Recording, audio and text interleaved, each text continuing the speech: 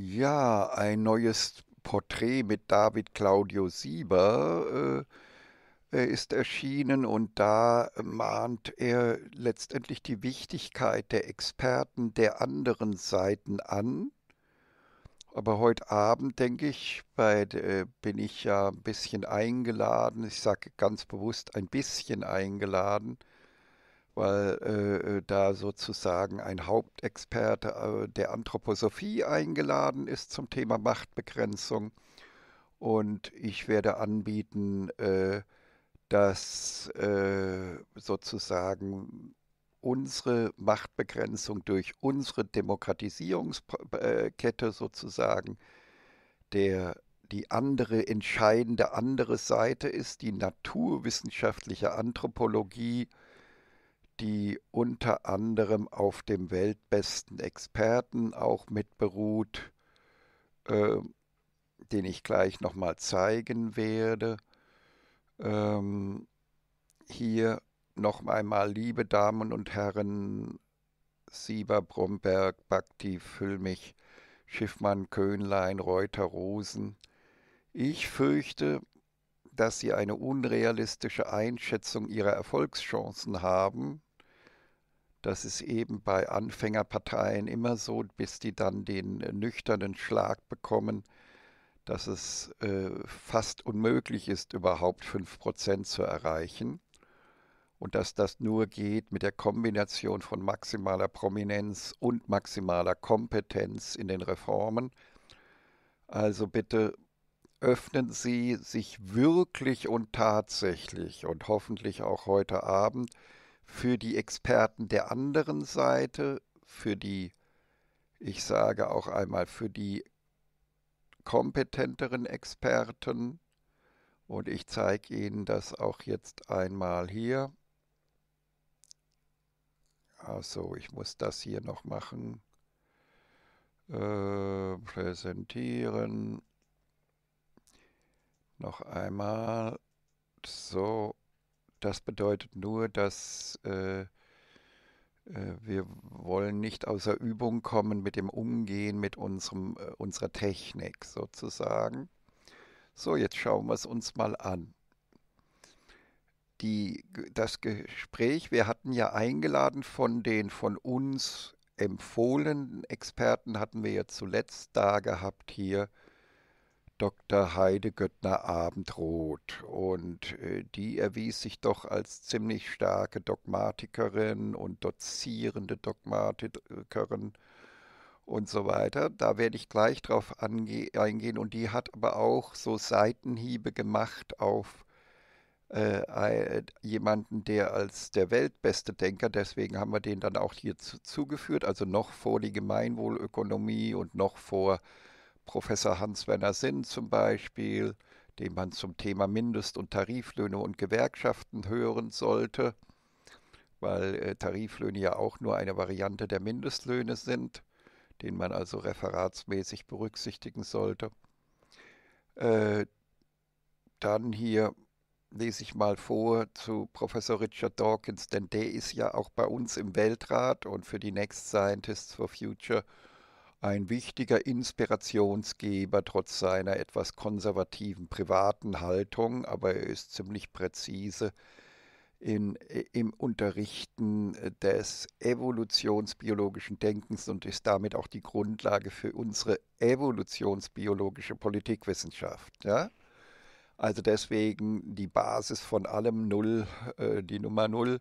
Professor Richard Dawkins in Wikipedia schreibt, in einer Umfrage des Magazins Prospekt wählte eine Auswahl britischer und US-amerikanischer Juroren Dawkins 2013 zum weltweit wichtigsten Denker.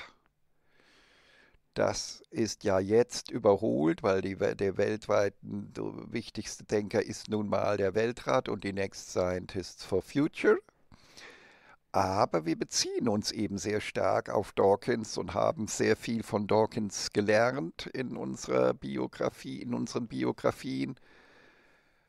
Zwei der wichtigsten Mitglieder des Weltrates sind eben auch äh, Dawkins orientiert oder von Dawkins sehr stark beeinflusst. Äh, und äh, das ist eben wichtig und äh, Professor Dawkins ist trotz seiner konservativen Gesamtideologie der Lehrer für präzises, realistisches, evolutionsbiologisches Denken in der Politik und damit der Überwindung des latenten Kreationismus in unserer pseudowissenschaftlichen Welt, der auch die meisten Parteien in die Irre führt. Ja?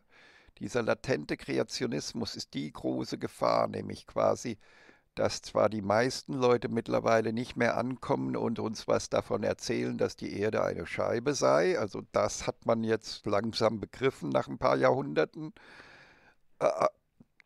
Aber immer wieder fangen ja auch die ganzen Pseudowissenschaftler der Universitäten immer wieder an, äh, eigentlich kreationistische Positionen zu vertreten, nämlich äh, eigentlich versteckt zu sagen, da, Darwin hätte sich geirrt und Dawkins hätte sich geirrt, obwohl es dafür keinen Hinweis gibt, sondern das spricht eher alles dafür, dass wir es da mit ganz sicheren Wahrheiten zu tun haben, mit dem nächsten neuen, ganz großen Naturgesetz, nämlich dem Naturgesetz von Mutation und Selektion zu tun haben. Ja?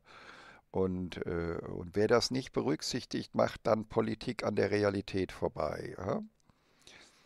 So, Dawkins lieferte auch entscheidende Inspirationen für solche Begrifflichkeiten wie parasitäre Meme, Killerviren des Geistes, vorteilbringende Irrtümer, PMs, KVGs, VIs, die wir ja sehr stark äh, geprägt haben und so weiter. Also wir sind quasi die Nachfolger von Dawkins und er steht ja in unserer Liste auch sehr weit oben als äh, einer der äh, Weltdenker, auf den wir uns sehr stark beziehen.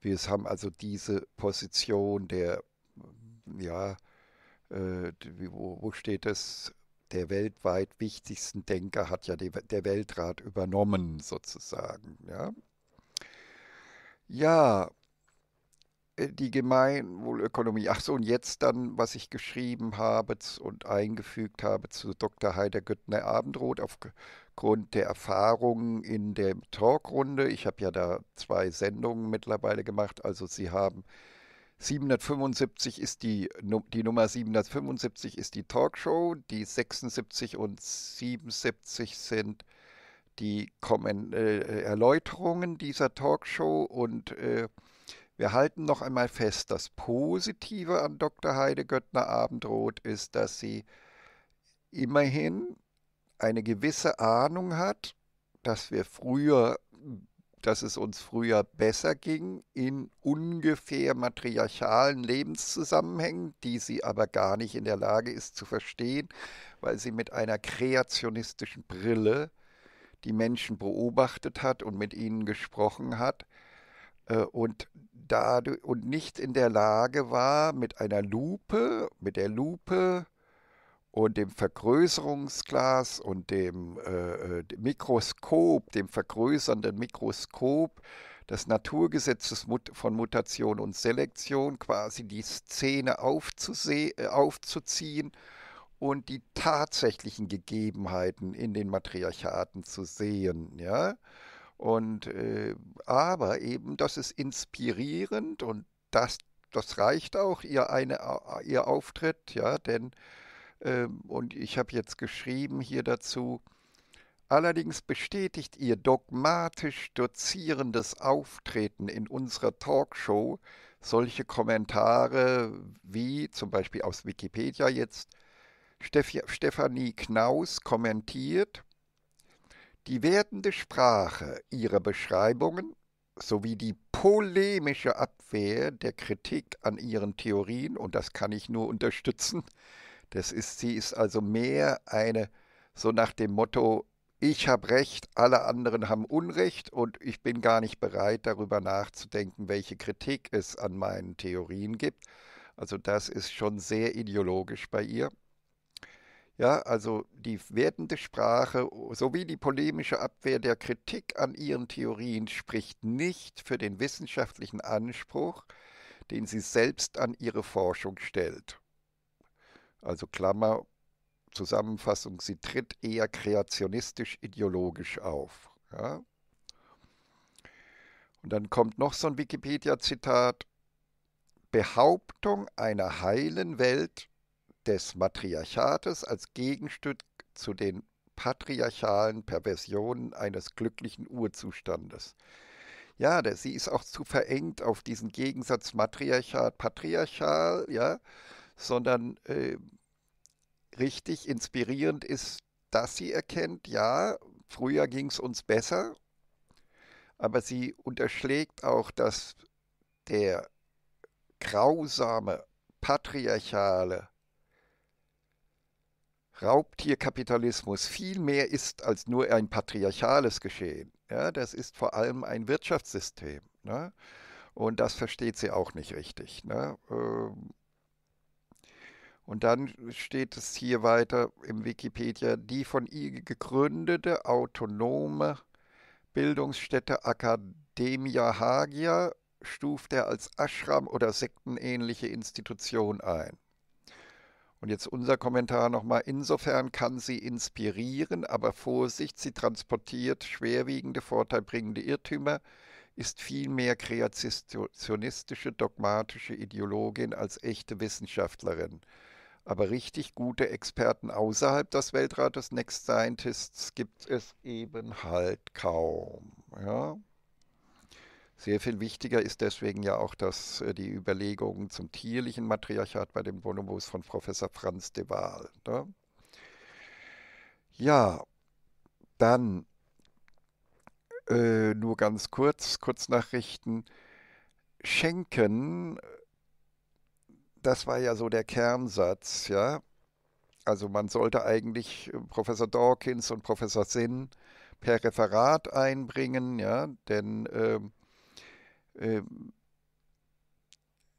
auch bei Dr. Abend, Göttner Abendroth ging es auch irgendwo um so eine Aufforderung zum selbstlosen, selbstvergessenden Schenken. Und da habe ich ja in den letzten Sendungen genug aufgedeckt, dass es sich hier um einen Vorteil bringen, bringenden Irrtümern von, von Kindstötern handelt. Kindstötung ist in, der, in allen Sozietäten, besonders von großen Säugetieren und so weiter, ungeheuer wichtig. Ja? Und äh, also das aggressive Abtreiben äh, der, äh, der, äh, ja, der Leibesfrucht beziehungsweise der äh, entstehenden Kinder in anderen, also das Verhindern davon, dass andere Kinder bekommen, ist sehr, sehr wichtig äh, äh, in der Evolution und ein ständiges Motiv, weil man damit Platz für die eigenen Kinder schaffen kann, für die eigenen Aussackungen von sich selber in die Zukunft hinein. Ja, und deswegen gilt unser Satz, schenken ja bitte, aber äh, nur egoistisch. Oder schenken, ja bitte, aber nur an sich selber. Denn ich hatte ja aufgezeigt, dass äh, hier, also hier nochmal die Erinnerung, dass das für die Parteien das Entscheidende ist, dass man andere Experten zur Kenntnis nimmt und aus der aus allen Experten sozusagen der anderen Seite eben eins, zwei, drei vier, fünf bis zehn konkurrierende äh, äh, Vorschläge macht, die dann über die letztendlich dann die Wählerinnen entscheiden. David Claudius Sieber spricht sowas an, als ob man auch Umfragen äh, für dann äh, Umfragen in der Bevölkerung äh, nehmen würde für die Entscheidung, äh, was, was die Abgeordneten dann im Parlament machen sollen, sozusagen. Da muss man vorsichtig sein. Umfragen, da haben Sie die sozialen Erwünschtheitseffekte, dass viele sich auch nicht trauen, äh, trauen einem Interviewer zu, ins, telefonisch ins Gesicht zu sagen, was sie wirklich denken. Man sollte es schon mit simulierten Bundes-, also Tagswahlen dann jeweils machen, äh, dass man das Geld schon aufwendet, dass die Leute geheim wählen dürfen, sozusagen mit möglichst repräsentativen Wählerstichproben. Das wäre dann der sinnvolle Weg. Aber da, wie gesagt, sind unsere Instrumente halt einfach besser, unsere Demokratisierungskette aus äh, Wohlfühlstimme als neue Wahlstimme, Vorwahlen, Mini-Volksentscheide, Medienreform und entsprechende parallele Demokratie-Pur-Talkshows als Übungsfläche und äh, die Volksentscheide, das ist dann doch griffiger und sinnvoller. Ja, also, und ich wollte noch zum Schluss ganz kurz zeigen, um nochmal, äh, bitte unbedingt schauen, 75, 76, 77. Und hier nochmal ganz kurz schauen, sozusagen, äh, wo ist es hier, ganz kurz schauen, die Bilder, also das Bild. Ein Kind ist eine Aussackung von uns selbst in die Zeit der Zukunft hinein. Und damit ist alles Schenken einer Mutter oder eines Vaters immer hoch egoistisch. Ja? Und äh, die Nabelschnur als Aussackungsweg wird dann über die neue Nabelschnur Brust und Stillen sozusagen gewählt. Ja, das war's mit dieser wissenschaftlichen Tagesschau. Tschüss.